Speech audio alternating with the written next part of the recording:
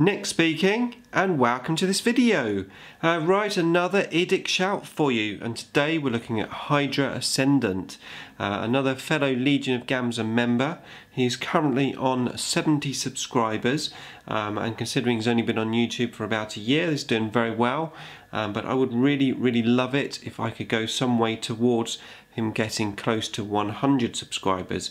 So uh, of course there is a link in the description below. Uh, please, please go and check it out. Uh, head on over there and give him a sub. I would really appreciate it and I know he would really appreciate it. Uh, now he has a slight YouTube uh, glitch on his homepage because it says that he has uh, no content on his videos. Um, or at least it does on the way I'm viewing it. Uh, but that is not the case, he does have videos, so let's go and check them out. I've seen that glitch on a couple of channels actually. Um, okay, so yeah, he's um, been uploading quite consistently. He has um, a good variety of videos. He's into his, I think, it's Alpha Legion um, and also Space Wolves. Um, and uh, he's been putting up some really great content. So he's had some uh, painting tutorials um, on his Alpha Legion. Some really, really nice paint job.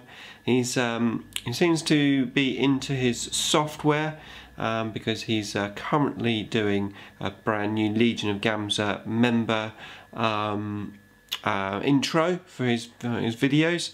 And it looks really cool so far from what I've seen. There's a lot of work going into that.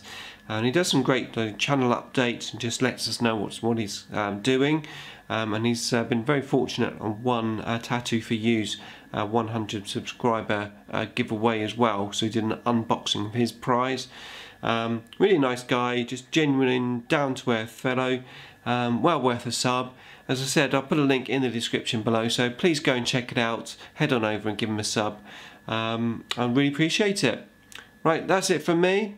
Thanks for watching and I'll see you in the next video